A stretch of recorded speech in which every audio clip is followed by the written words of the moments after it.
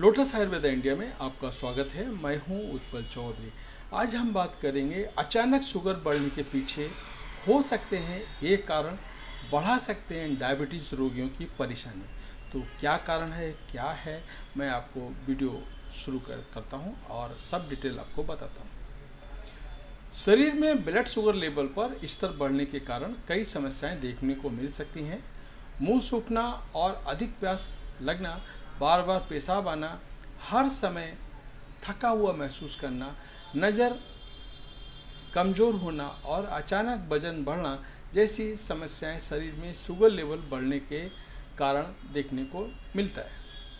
लेकिन आमतौर पर हम सभी रक्त में ग्लूकोज बढ़ने की समस्या को डायबिटीज़ से जोड़ते हैं। लेकिन आपको बता दें कि हर बार ब्लड शुगर बढ़ने का कारण हमेशा डायबिटीज़ होना नहीं होता है। ऐसे कई अन्य कारण भी हैं जो शरीर में हाई ब्लड शुगर का कारण बन सकते हैं। डायबिटीज़ के बिना भी कुछ ऐसे कारक हैं जिनके कारण ब्लड शुगर में अचानक स्पाइक देखने को मिल सकती है। मैं आपको डिटेल में बता रहा हूँ। अचानक शुगर बढ़ने के कारण मीठी चीज़ों का अधिक सेवन करना। मीठी चीज़ें, खासकर जिनमें चीनी में प्रयोग किया, चीनी में प्रयोग किया जाता है, बहुत जल्दी पच जाता है और ग्लूकोज में परिवर्तित हो जाता है। यह ब्लड स्ट्रीम में बहुत तेज़ी से ग्लूकोज बढ़ाता है। धूप के कारण, जब लोग धूप के संपर्क में आते हैं तो इससे सनबर्न की समस्या होती है। इससे शरीर में तनाव बढ़ता है तनाव शरीर में ब्लड शुगर के बढ़ने का कारण बनता है। चाय कॉफ़ी पीने से अगर आप चाय कॉफ़ी का अधिक सेवन करते हैं तो इसमें मौजूद कैफीन, कई ब्लड शुगर इसमें मौजूद कैफीन, कई ब्लड शुगर बढ़ने का कारण बनता है। खासकर उन लोगों में जो कैफीन के प्रति संवेदनशील होते हैं।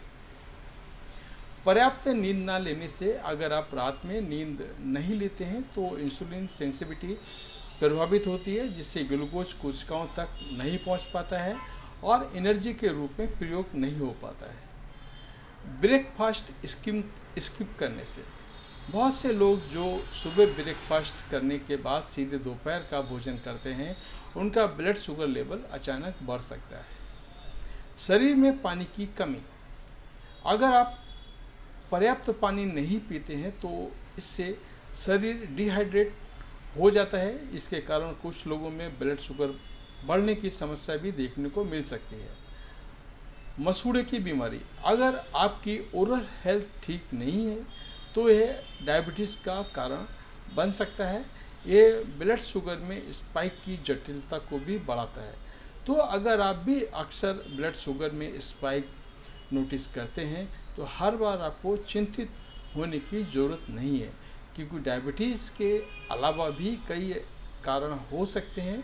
लेकिन अगर आप सामान्य से अक्सर ब्लड शुगर बढ़ने की समस्या का सामना करते हैं तो ऐसे में आपको एक बार डॉक्टर से चेकअप ज़रूर कराना चाहिए, क्योंकि कुछ मामलों में ये किसी गंभीर समस्या का संकेत भी हो सकते हैं। ये था हमारा आज का वीडियो। आपको कैसा लगा? कमेंट करके बताएँ। धन्यवाद।